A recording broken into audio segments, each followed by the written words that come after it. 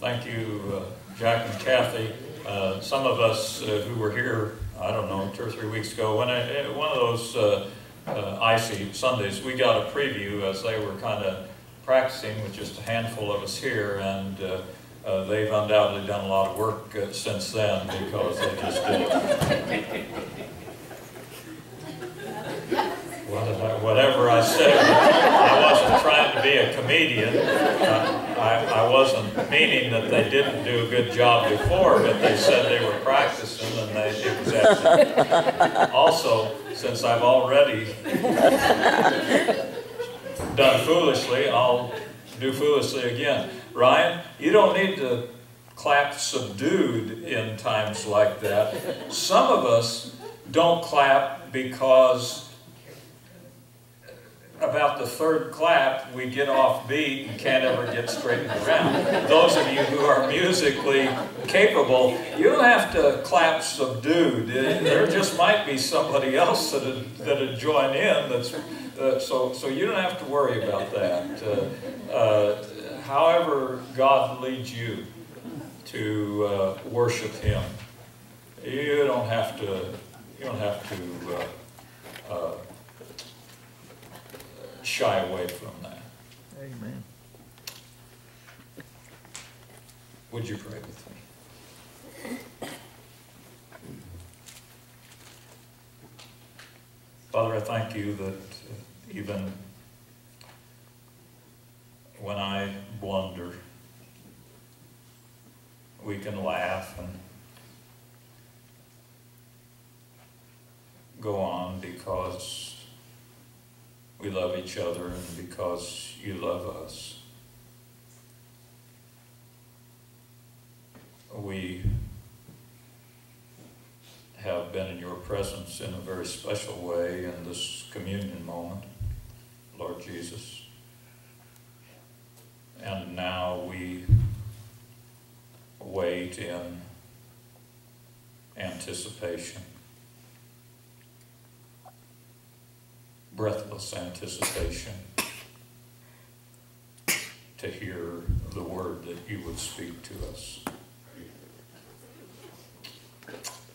I pray that I, that each of us would have ears to hear you speak and would respond in a way that would honor you. Thank you for what you did, Jesus, on the cross.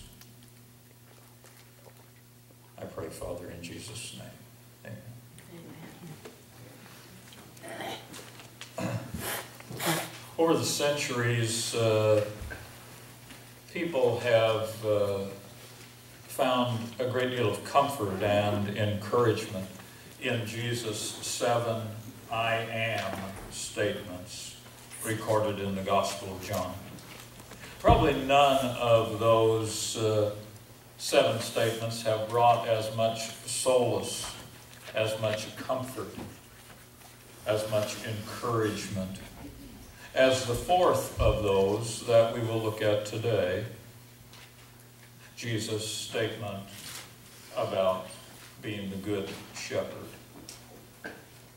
Maybe one reason that uh, would immediately come to mind, uh, especially to Christians, uh, as to why uh, that particular I am statement is so meaningful is uh, because uh, when we hear Jesus talk about a shepherd, immediately it brings to mind that most beloved of the Psalms, the 23rd Psalm where David uh, declares, The Lord is my shepherd.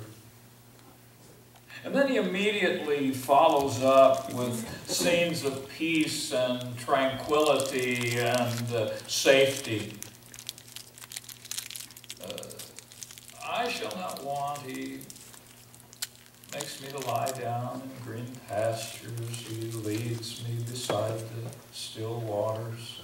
Even though I walk through the valley of the shadow of death, I won't fear any evil because you're with me. We get uh, good pictures about shepherd.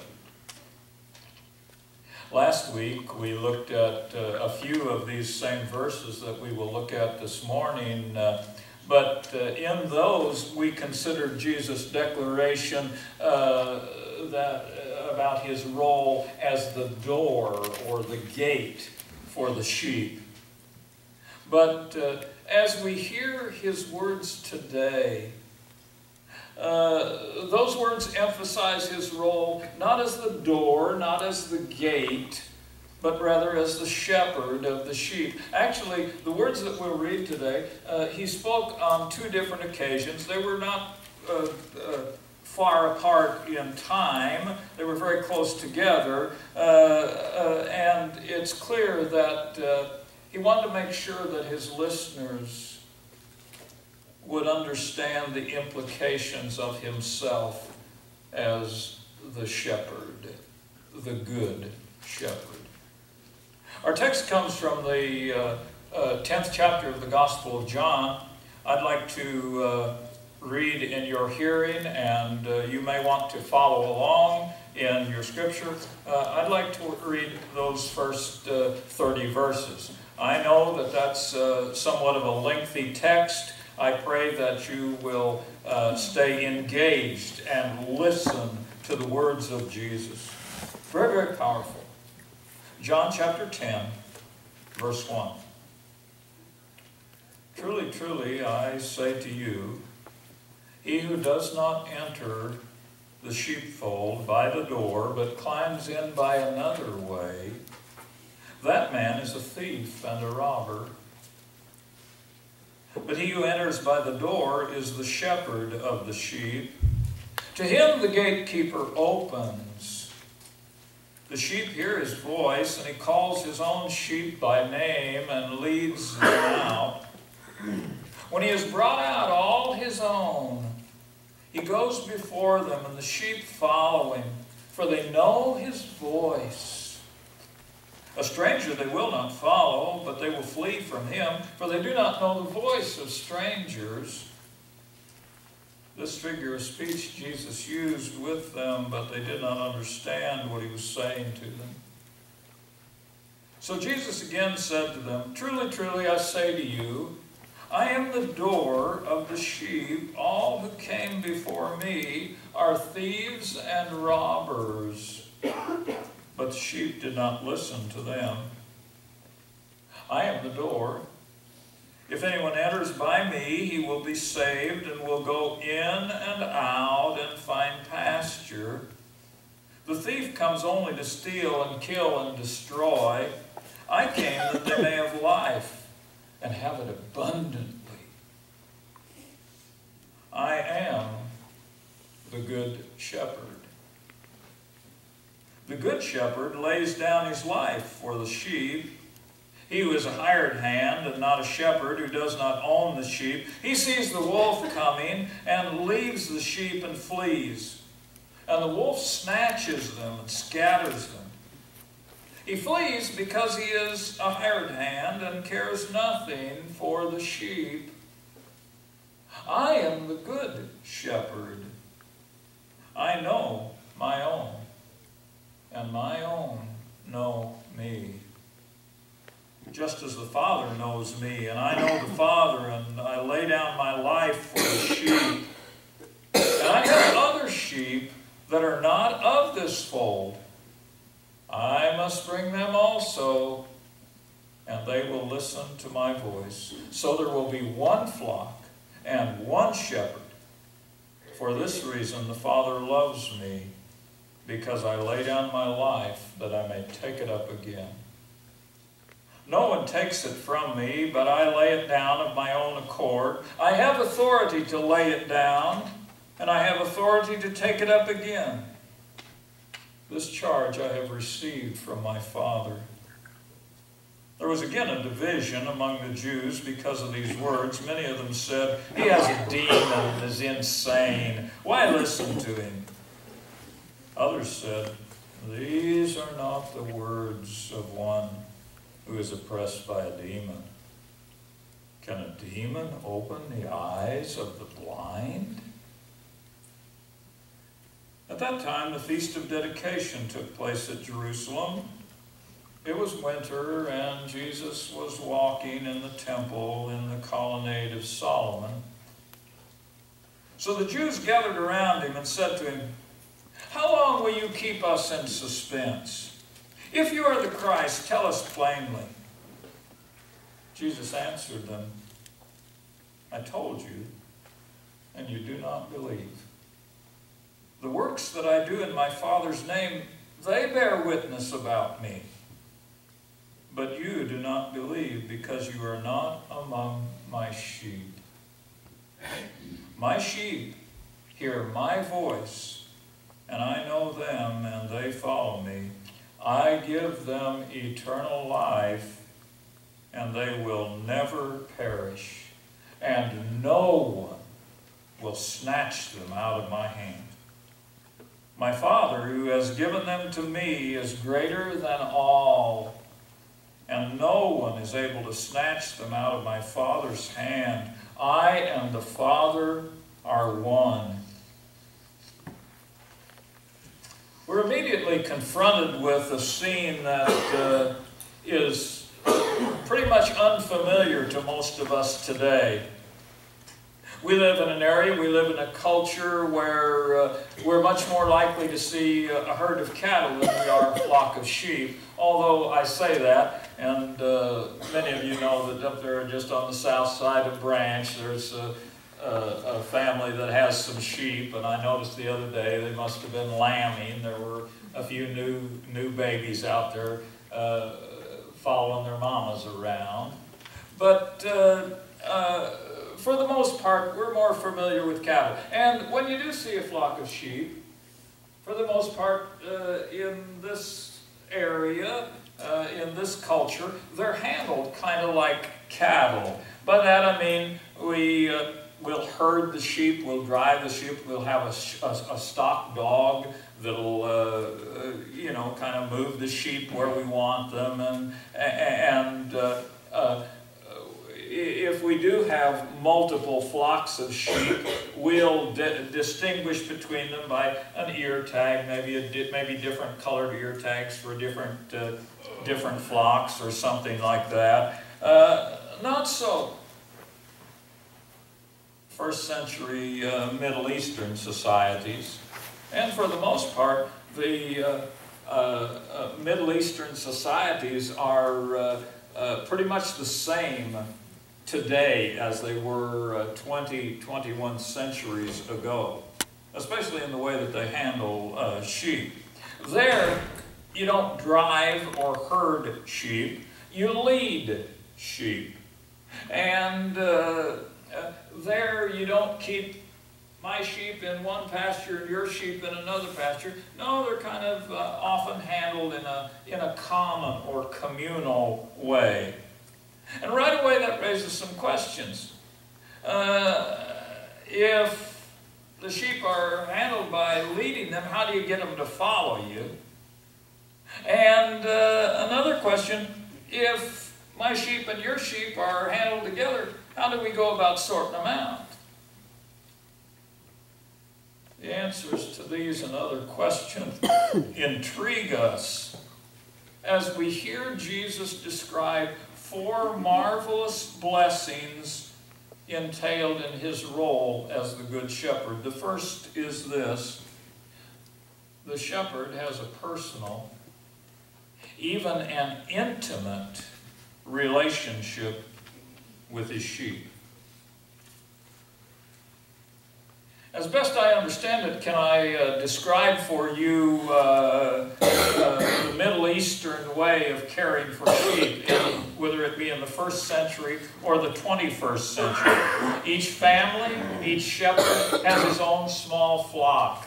Uh, uh, in the daytime, you take your flock and you graze them in some pasture uh, some meadow. Now, it may be quite a little ways away from the village or uh, where you live. Then in the evening, you bring them together, and those sheep, your sheep, my sheep, uh, somebody else's sheep, they're put together in some kind of a communal uh, type enclosure. Uh, uh, often two or more, two, four, uh, even more flocks in the same in the same enclosure.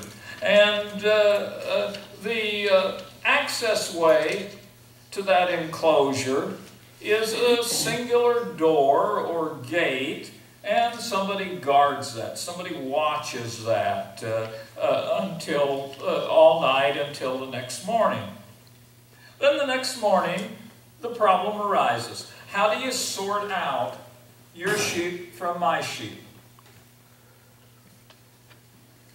When I was in the cattle business uh, a number of years ago, in order to facilitate just such a problem, you know, sometimes cattle get into a different pasture and they get mixed up. So when I would get in a, a load of cattle, the very first thing that I would do is put those cattle through a chute and give them, of course, whatever shots were needed, but I'd put a brand on. them.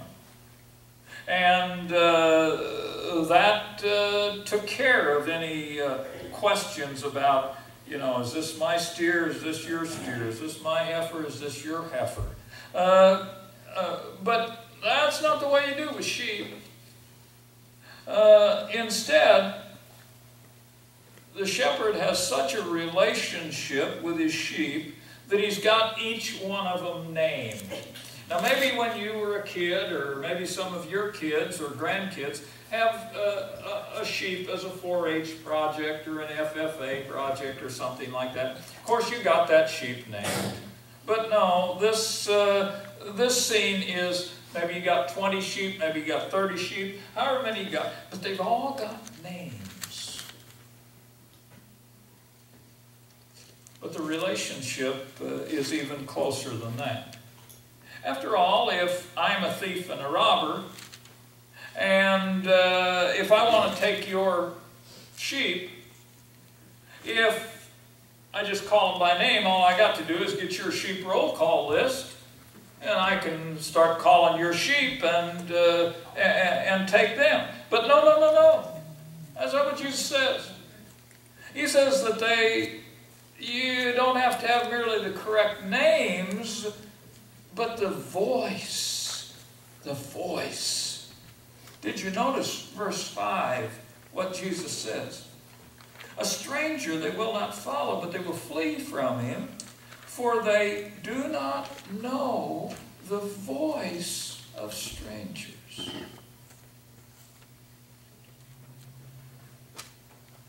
And then the shepherd doesn't go into the enclosure, into the sheepfold, and uh, get his sheep.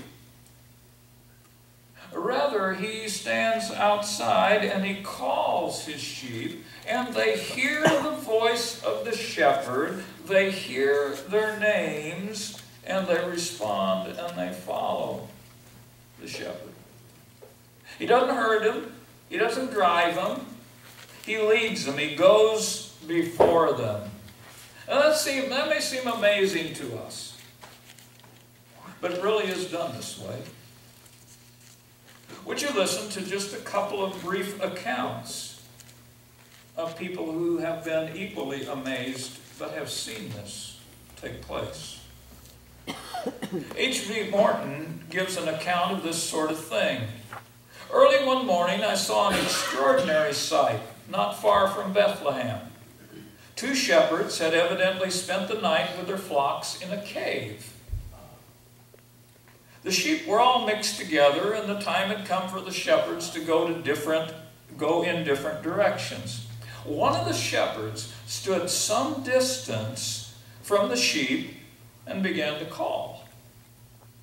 First one, then another, then four or five animals ran toward him, and so on until he had counted out his entire flock. Gerald Borchert is uh, a Christian minister, a seminary professor. He writes these words Having taught in Israel, two illustrations have become seared in my memory concerning eastern shepherds and their sheep. One of the two pictures, one is that of a shepherd leading his sheep through the city of Jerusalem just outside the Jaffa gate. Cars were whizzing by while the shepherd sang and gently whistled to his sheep, and they dutifully followed him despite all the bustling traffic nearby. The other picture is that of an early morning with the Bedouin, Bedouins. When the shepherds began to lead their sheep out of the sheepfold, which contained the combined flocks of four shepherds. It, as each shepherd took his turn and began to sing and call his sheep, they dutifully separated from the larger flock and began to follow him for the hills for their daylight feeding. They know the voice of the shepherd. Into that understanding, into that relationship of a shepherd and his sheep, Jesus speaks these explosive words Ego eimi, the good shepherd. I am the good shepherd. They're explosive because in using those words, I am, ego eimi, Jesus is identifying himself with God the Father. That's God's personal name. And Jesus is taking it and saying it and saying, That's my name as well. But he's not merely the shepherd with all the closeness that that picture conveys. He is the good shepherd. And as that good shepherd in verse 14, he says, I know my own, and my own know me. Whether you're a first century listener or a 21st century listener, those words invite a close, personal, intimate relationship with the shepherd. Because when the Bible talks about knowing God and Him knowing you, it's not just like, oh yeah, you meet somebody on the street or you meet somebody in the MFA. Oh yeah, I know you. No, no, no. That word is used in the Bible about Abraham knowing his wife in an intimate way. And Jesus says, I know my sheep that intimately, and they know me. He also makes clear that as part of that knowing, you recognize his voice. To know somebody like that, to recognize their voice out of a crowd, requires that you spend time with that person.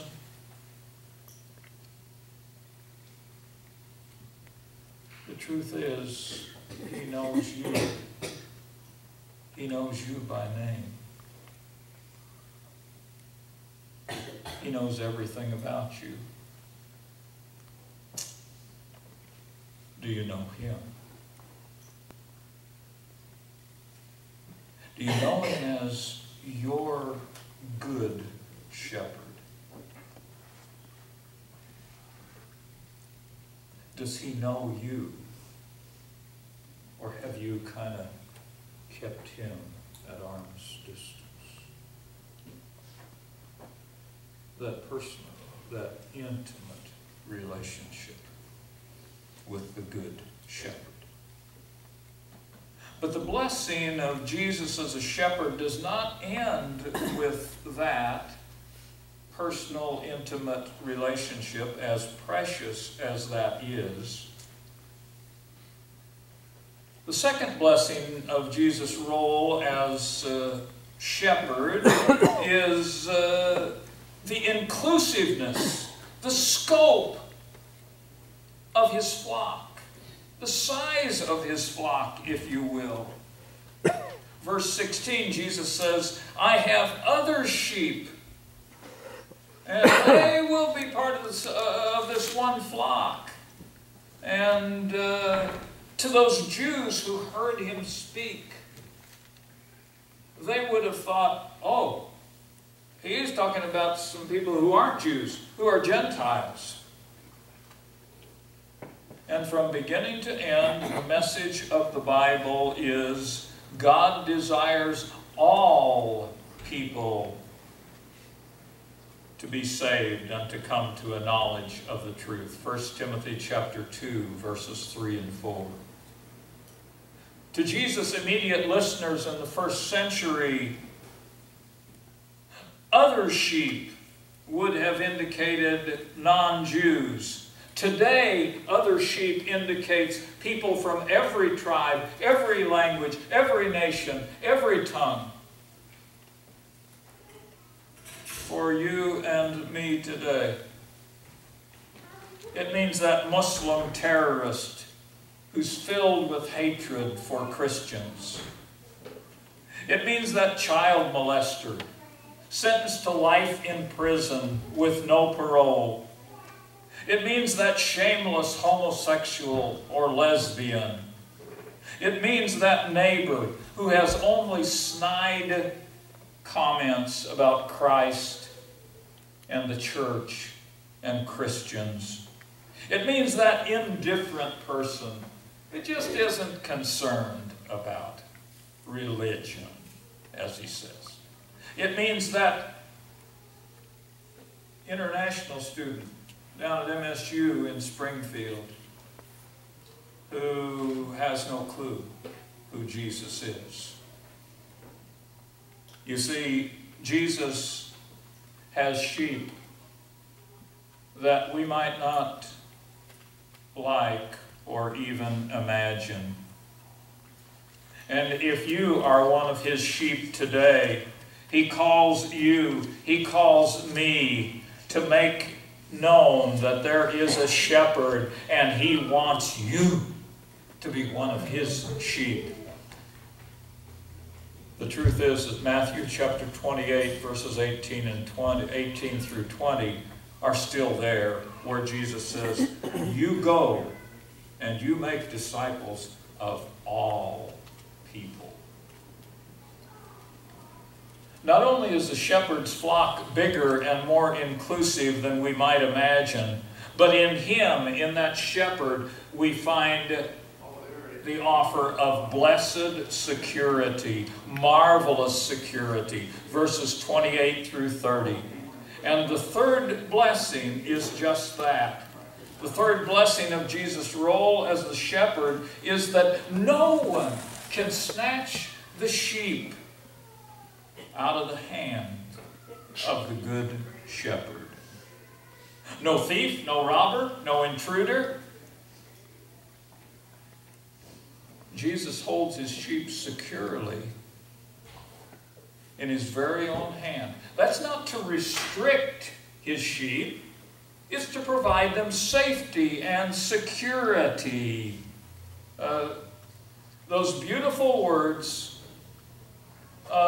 the psalmist when he says in Psalm 139, You hem me in before and behind. You lay your hand on me.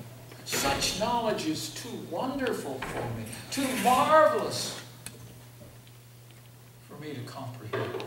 It's like Jesus, he's got this, this protection in front and behind and over the security of being a sheep in the hand of the shepherd. This security is not merely for today and for tomorrow. This security is for all eternity. Uh, Jesus says in verse 28, I give them eternal life and they will never perish. The same writer, the Apostle John, writes in his first epistle that the reason he wrote it is so that you may know that you have eternal life. A word of caution, a word of warning when we think about the security found in the hand of the Good Shepherd. There is a constant biblical tension. On the one hand is security that is found in Christ and the Good Shepherd. On the other hand is the responsibility of every single person, every sheep, if you will, to be faithful. We must never minimize either aspect of that tension. That brings us to the fourth blessing of Jesus as the uh, Good Shepherd, and that's found in verse 11. The Good Shepherd lays down his life for his sheep. In the first century, that was a very real possibility the uh, shepherd would take his sheep off to a remote pasture where they would graze for the day. There would often be marauding uh, critters, wolves, lions, whatever. When one saw that sheep that looked uh, uh promising, easy prey, the caretaker, the one who was looking after the sheep, had a choice to make. Uh, he could run off and save himself, or he could try to save the sheep. Jesus said the hired man, he doesn't really care about the sheep. So he just uh, uh, runs off because he wants to protect himself. But the good shepherd, to whom every one of those sheep is precious, he's willing to risk his life. He's willing to confront at times even to lay down his life to save every one of those sheep. And notice, while the Good Shepherd would give his life for the sheep, Jesus goes further in verse 15 and says, He does give his life. I lay down my life for the sheep. That, that presents us with a little dilemma here because how is this uh, shepherd who promises to give to his sheep eternal life, how's he going to do that if he loses his own life? And the key is found in his words in verses 17 and 18. Because I lay down my life that I may take it up again. No one takes it from me, but I lay it down of my own accord. I have authority to lay it down, and I have authority to take it up again. This charge I have received from my Father. Those who heard Jesus' words on that uh, first day had no conception of what that would very soon entail. Very soon he would go to Jerusalem. He would be screamed, he would be schemed against, he would be plotted against. One of his closest followers would betray him, another of his closest followers would deny him. He would be rejected by the very people that he wanted to bring into his flock. He would be lied about by false witnesses. He would be condemned by the Roman governor. He would be beaten. He would be mocked. And he would be nailed to a cross. Indeed, he, for the sheep, would be bearing the sin of the world, the sin of every single person For six hours he would hang on that cross. He would be taken down, as Tom reminded us in his communion meditation. He would be taken down at the ninth hour. He would be taken down dead and placed in a rock tomb. But true to his word, on the third day,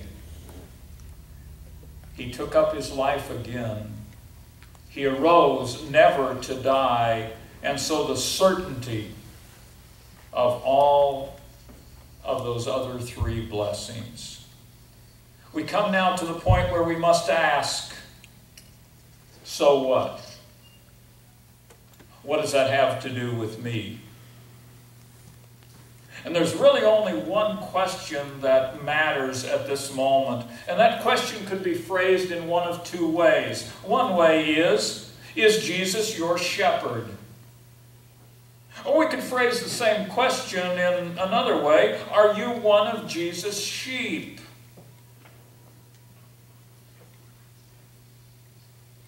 If you are, you will be enjoying a personal, intimate relationship. He knows you personally, and you know him personally, even intimately.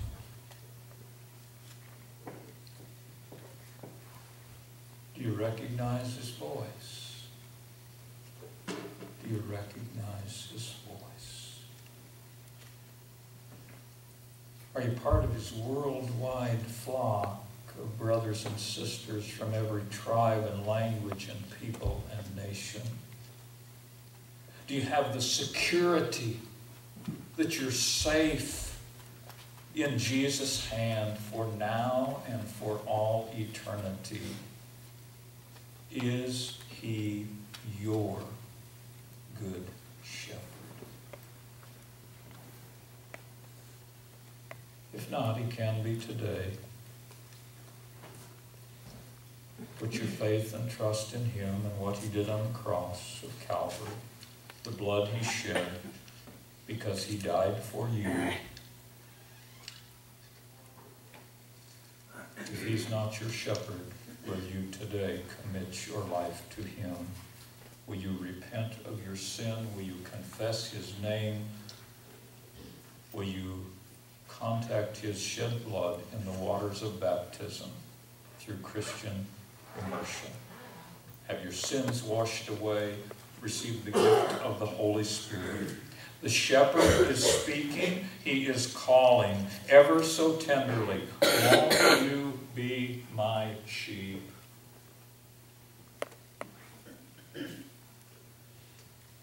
If you are not,